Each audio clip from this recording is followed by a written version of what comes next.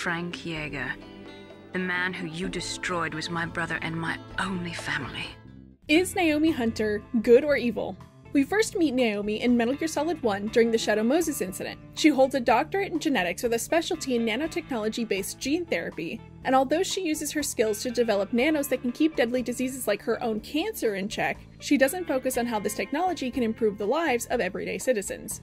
Instead, she focuses on how this technology can soup up the military. Naomi Hunter navigates the world selfishly. Her actions always self serving. Special thanks to the Mad Cow for suggesting we cover Naomi Hunter. Heads up, this video will have spoilers for Metal Gear Solid 1 and Metal Gear Solid 4.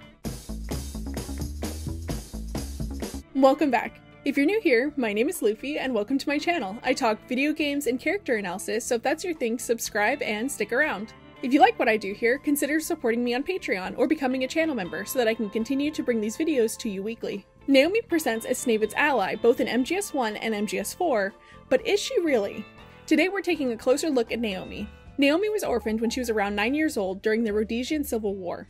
Unable to provide for herself, she almost starves to death when Frank Jaeger finds and rescues her and adopts her as his little sister. Unbeknownst to Naomi, Frank was the one who ended her parents and he adopted her out of a sense of guilt.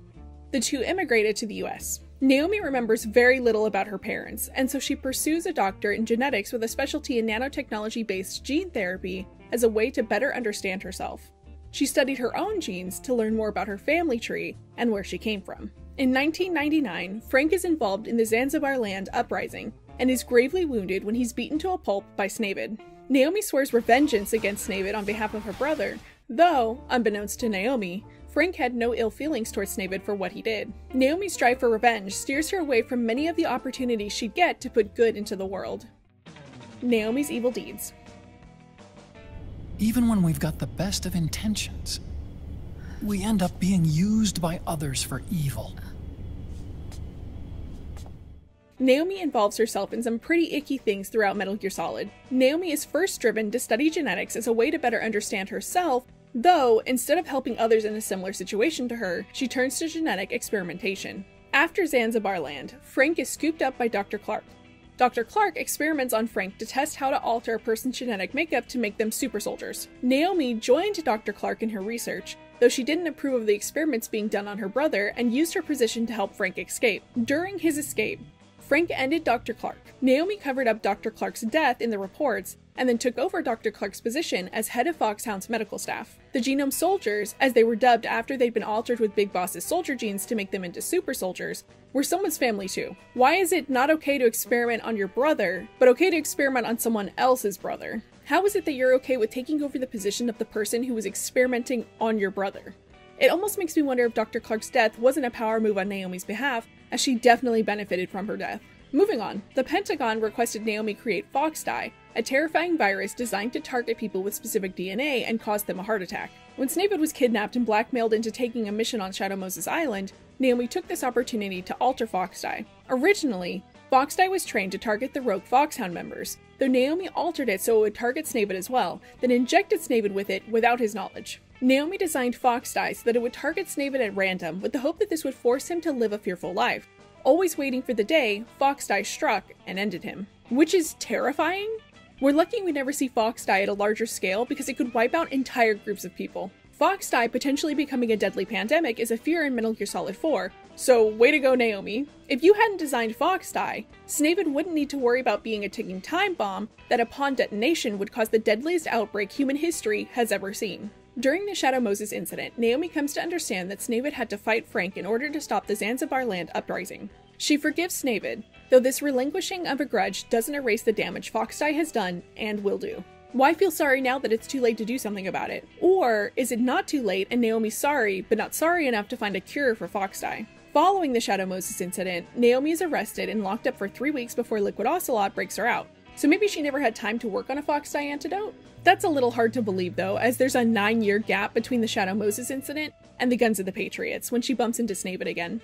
Are you telling me she never had a chance in nine years to come up with a cure for FoxDie? She let Snavid live under the umbrella of terror she designed for nine years, even though she forgave him for what happened to her brother? Naomi Hunter operates under rules for thee, but not for me. She's against genetic experimentation when it comes to her brother, but has no problem altering an entire unit full of soldiers genetically. She's willing to help her brother and Dr. Clark, but then assumes her position no problem.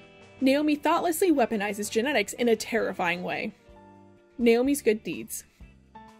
We are given life only so that we can atone for our sins. We all must atone for our own sins. We must not pass them on to the next generation. We must not leave them for the future. Just as Naomi's work with genetics and nanomachines led her to human experiments and potentially the deadliest virus the world has ever seen, her work also led her to create a cure for cancer. Naomi, unfortunately, was diagnosed with cancer, but she used nanomachines to keep the disease at bay. Hundreds of thousands of people die from cancer every year. Can you imagine the people she could help with her technology? Not to mention other diseases that could probably be cured in a similar fashion. By 2014, the Patriots AIs had control over the US and were working to bring the rest of the world under their control. Long story short, this would be disastrous, and so Snavid and the cast of Metal Gear Solid 4 worked to bring the Patriots AIs down. Naomi helped develop Fox Alive, a computer virus meant to take out the Patriots AIs while keeping important infrastructure intact. Because the Patriots AI's control was so widespread, important infrastructure was tied into their systems, so just shutting them down would have dire consequences for the world. Fox Alive would strip the Patriots' AIs of their control while keeping the world functioning. There are a couple of good things Naomi does throughout Metal Gear Solid. She potentially comes up with the cure for cancer and helps save the world from the Patriots' AIs. Does this outweigh her genetic experiments, though? Your thoughts. We took a poll here on YouTube asking if y'all thought Naomi was good or evil, and the majority of you voted that it was a gray area. I can totally see that. Naomi's a complicated character that does both good and bad throughout Metal Gear Solid. Personally, I don't think Naomi's a good person. The Mad Cow commented, I feel there are two different Naomis. MGS1 Naomi has very little, if anything, in common with MGS4 Naomi. Everything she does is motivated by revenge and love for Grey Fox, her brother. She's a master manipulator that can make even Ocelot blush. She comes off as cold and heartless, but Sunny shows that deep down there is good in her. And I totally agree with Mad Cow's assessment. MGS1 Naomi is very different from MGS4 Naomi. There's a 9 year gap between MGS1 and MGS4, and it makes me wonder what we didn't see that could justify such a change in her. What both Naomis have in common is being a master manipulator, as Mad Cow said. Her slipping away from Liquid Ocelot to work on Fox Alive with Sunny only to go right back to him, and then to end it all after Vamp is defeated, has always baffled me. The Lemming1337 commented, basing the thought from the boss's wisdom. People, like countries, can be current enemies, but also future allies, and vice versa.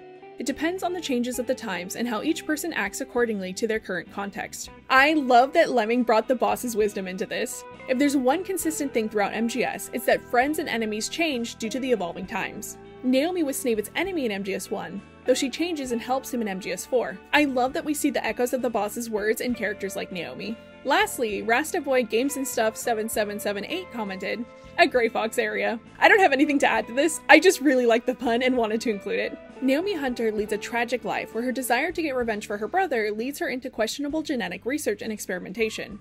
She's potentially doomed the world if Snavid's fox were ever to mutate and start to attack people regardless of their genetic makeup. Though she does also create Fox alive as a way to save the world from the Patriots' AI's control. Does the good outweigh the bad? Is Naomi Hunter evil? What do you think? Let me know in the comments. Thank you so, so much for making it to the end of today's video. If you liked it, share it with someone who wants to know more about Metal Gear Solid lore. If you need more MGS content, check out my Patreon or become a channel member. I upload articles I write on upcoming videos or just thought pieces on MGS in general. Or join us in Discord, we're always talking about MGS. More importantly than that though, please take care of yourself and I'll catch you in the next one. Thank you. Special thank you to our $10 Patreon, Nader Najat. Thank you so much for your support.